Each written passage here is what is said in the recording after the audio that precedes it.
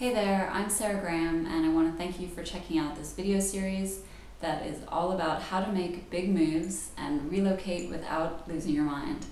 Uh, yes, it's going to involve some pets. this is my cat Tiger Lily who will be making some time appearances. I've written an ebook guide that will be available soon. So I thought it would be fun to do this video series so we could get to know each other and you can become familiar with the topics that I cover and that will hopefully help you. So a little bit about me. I am a yoga teacher, I'm an editor, I'm a three-time relocator. I grew up in Bermuda and then moved to Toronto, Canada for university uh, when I was 18. Stayed in the city for almost 20 years. In 2011, I met an Italian he got a job in Prague. So early 2014, we moved to the Czech Republic.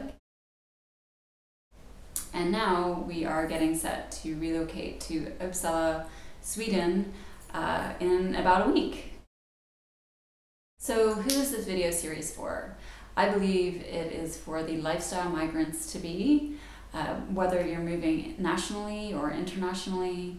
Uh, I think people who have already relocated might also get a kick out of it. Um, same goes for the guide. Again, that will be available in a few weeks, and I'll give you a bit more information about that at the end of this video. Number one, give yourself enough time.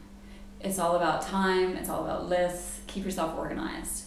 Before leaving Toronto, I started about six weeks uh, before we had to be out of the house we were living in uh, selling my stuff through uh, Facebook, through my own blog, uh, through Craigslist, etc. Uh, obviously, if you have larger assets like a car, uh, your own home that you own, you want to start earlier. Consider using an agency like maxsold.com. These guys are throughout Canada and the US. They will come over to your home, give you an appraisal for free, and if you like them, uh, they will sell your stuff for a commission, which kind of is great because they take a lot off your hands. I personally had a ton of success using Kijiji in Toronto. Uh, a little bit less random than Craigslist, um, just better quality uh, requests coming through. Leaving Prague, I found out about this great classified Facebook page for the Czech Republic and sold couple things like super fast that way. Another idea is to create a Facebook event where you can um, invite those friends that you think will give your stuff a good home. Uh, I caution against using your own personal page to do this stuff because it's not very targeted. Take photos of the stuff as it is in your home. Uh, use a lovely Instagram filter. This is easy to do without actually posting to your Instagram feed. Uh, maybe we'll do a tutorial on that later on if people want. Um, but yeah, you want to put all the descriptions with the those photos. If it's a, you got a bunch of IKEA stuff, maybe you want to just link to the, the IKEA page that talks about the product, gives the measurements and all that stuff, so you don't actually have to get down and measure everything. But um, people will ask you to do that. So if it's not IKEA, you don't have somewhere to send people with the information, then just do it off the bat. Going back to Facebook uh, and that event, um, we created event, an event before we were leaving Prague. We actually had a little soiree uh, last night here in our apartment.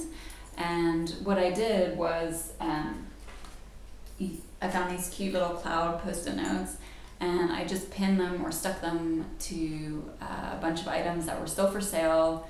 Obviously we have a few last things to move and I just wanted it to pop at the party so people could see that what was left and this uh, definitely was a good idea. A couple, couple pillows left the house. So post-its, a marker, a few pins, and you've got a strategy that also works if you're not home during the day and maybe your apartment's being shown uh, while you're out of the house. Uh, this makes it obvious to prospective new tenants uh, that might potentially also take stuff off your hands. So I really hope you enjoyed this video. There's definitely more to come. Please do send me questions, post them in the comments below. If you subscribe there, you'll get notifications on the next video, uh, which will be all about packing your stuff. Got some great tips for you in that. Then we will also send you information about when the book is ready, of course, and I love subscribers and I'll be extra generous to you, so you'll get additional tips and ideas um, that will help you make big moves and relocate without losing your mind. Thanks and see you next time.